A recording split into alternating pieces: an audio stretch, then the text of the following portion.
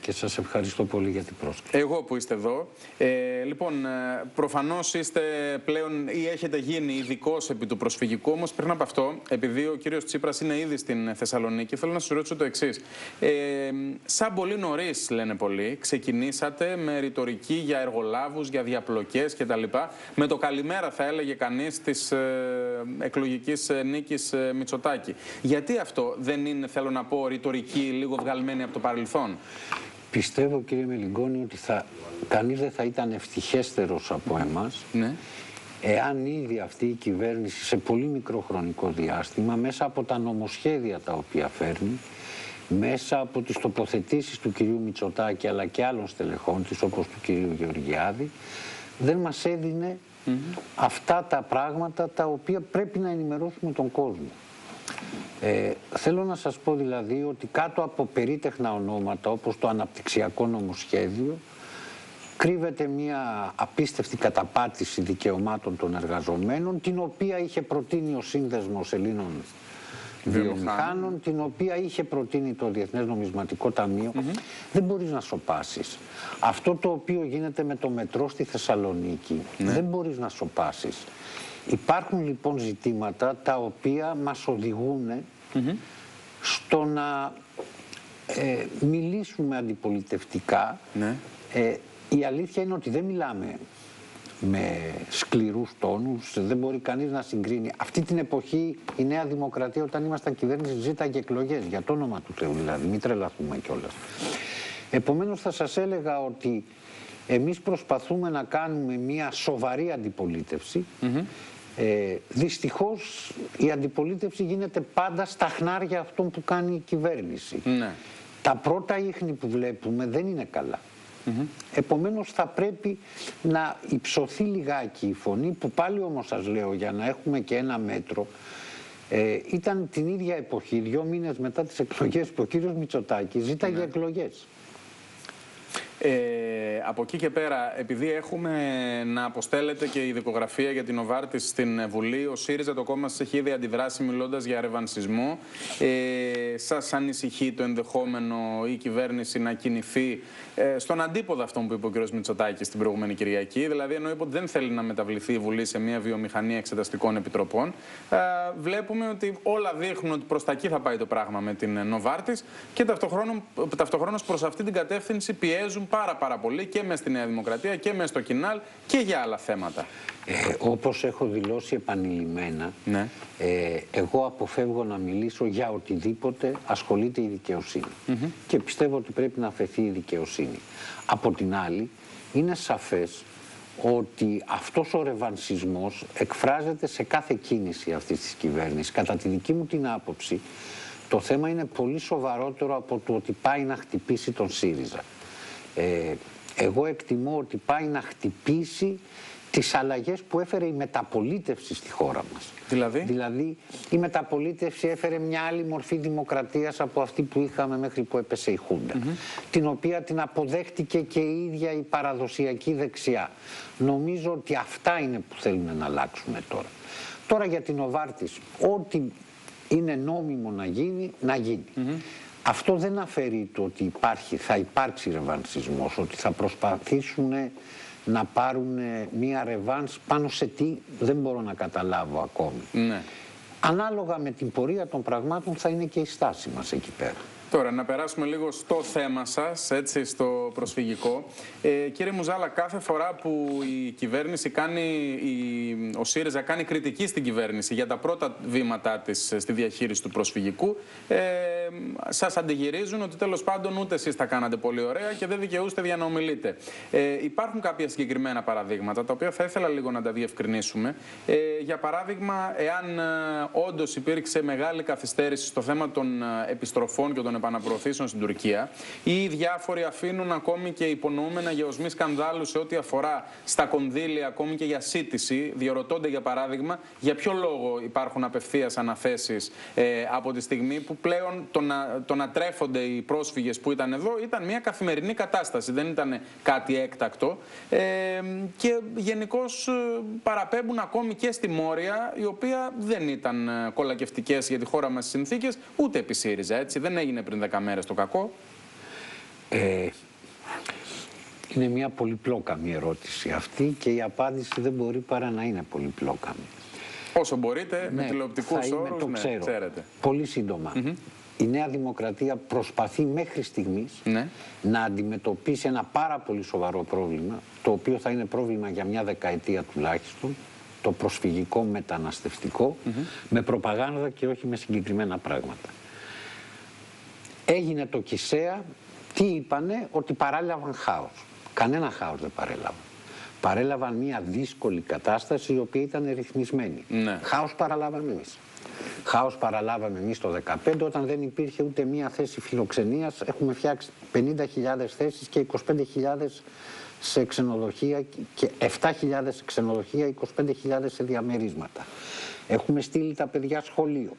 Έχουν ιατροφαρμακευτική περίθαλψη, πήγανε να τους πάρουν το άμκα ώστε να μην μπορούν να έχουν φαρμακευτική και ιατρική περίθαλψη.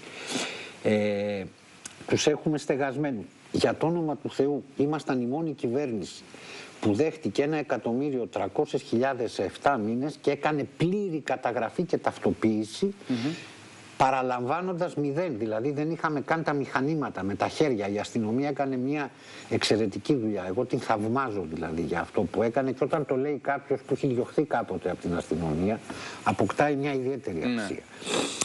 Κάναμε 450.000 διασώσεις η Νέα Δημοκρατία παρέλαβε χάος. Εμείς παραλάβαμε χάος. Παραδώσαμε μια οργανωμένη κατάσταση με πάρα πολλές δυσκολίες. Το μεταναστευτικό προσφυγικό πάντα θα έχει πάρα πολλές δυσκολίες. Δεν φυλάμε τα σύνορα. Συγχωρέστε μου την έκφραση, είναι ανοησίες.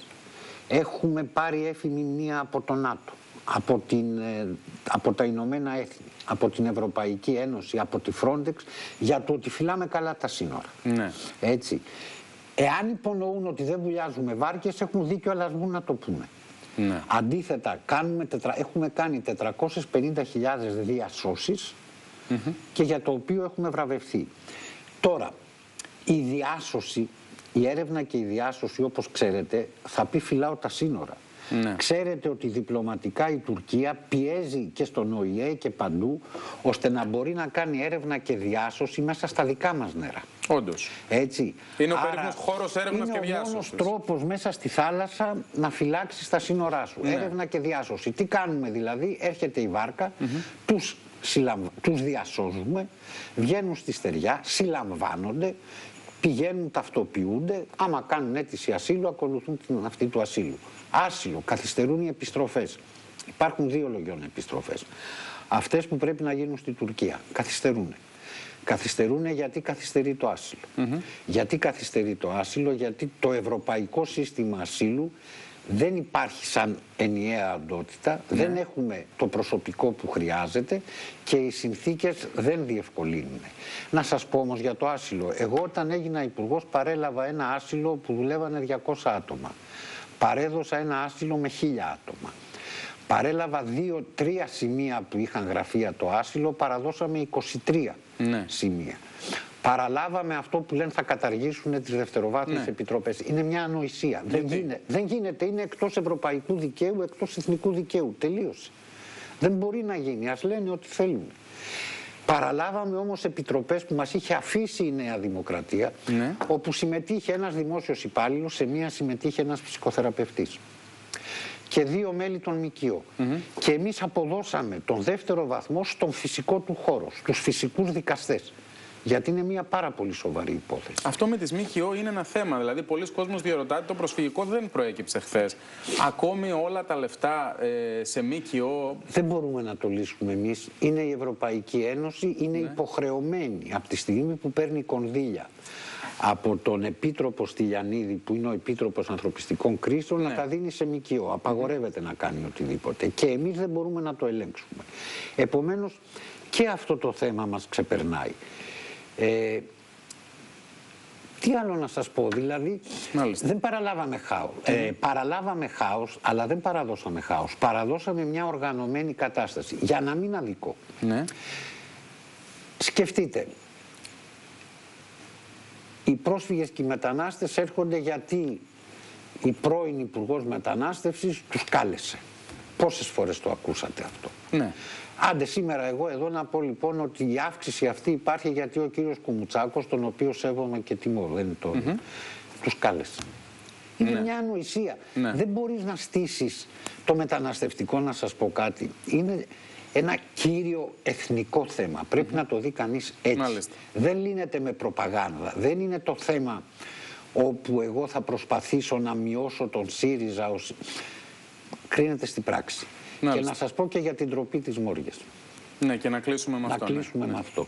Έχω πει ο ίδιος στη Βουλή ότι η Μόρια ε, πάρα πολλές φορές είμαστε στα όρια της παραβίασης των ανθρωπίνων δικαιωμάτων. Ναι. Οφείλω όμως να σας πω ότι επί των ημερών μας η Μόρια δεν υπερεύει ποτέ τις 6.500 και φροντίζαμε και εγώ και ο κύριος Βίτσας να μένει γύρω στις 5-5,5.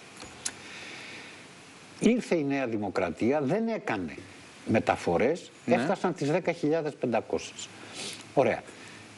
Πρέπει να κάνει μεταφορές Ναι. προς τα δω. Πρέπει να κάνει, δήλωσαν θα κάνουν επιστροφές στη Τουρκία. Σας βεβαιώνω είναι ό,τι καλύτερο, αυτή είναι η λύση, αλλά είναι πολύ δύσκολο να γίνει. Πρέπει να αυξήσουν κι άλλο το άσυλο, θα συμφωνήσουμε Ναι. με οποιοδήποτε τέτοιο Και μέτρο. ό,τι εξαρτάται και από την Τουρκία Αλλά είναι δύσκολο. Κοιτάξτε να δείτε, η Μόρια δεν είναι η ντροπή της Ελλάδας και θέλω να το πω εδώ στους, ακροα... στους θεατές μας. Ναι. Η Μόρια είναι η ντροπή της Ευρώπης. Μάλιστα. Η Ευρώπη έχει αποφασίσει από τον Νοέμβριο του 2011 να δημιουργήσει ε, κέντρα διαδικασιών σε όλες τις χώρες της Ευρώπης.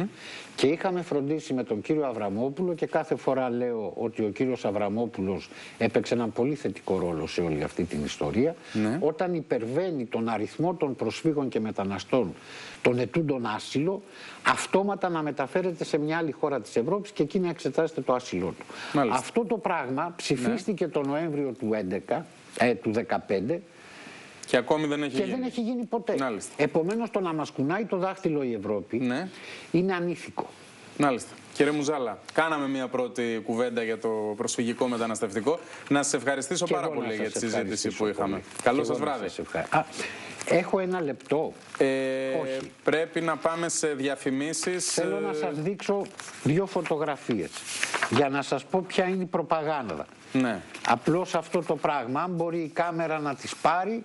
Δεν είμαι βέβαιος, θα Ε, ωραία. μας πει ο σκηνοθέτης. Αυτά Ναι, εδώ ναι. βγήκανε και είπανε πάλι, σας λέω η προπαγάνδα, ότι διασυνδέσαν τα συστήματα του στρατού με του ναυτικού και τώρα θα βλέπουν τις βάρκες και ο ΣΥΡΙΖΑ δεν τα έκανε και όλα αυτά.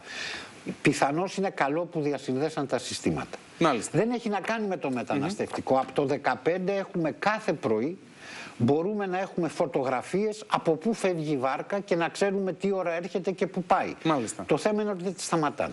Θα σας Επομένως, περιμένουν έξω να μην συνάδελφοί λέμε μου. ψέματα. Αυτά είναι ωραία ντοκουμέντα για να κάνουμε και ρεπορτάζ Να να, το είστε αντιμετωπίσουμε καλά. το θέμα Να είστε ολοκληρωμένα. καλά. Σας ευχαριστώ πάρα πολύ. Γεια σας. Κυρίες και κύριοι, λίγες διαφημίσεις και πάλι εδώ.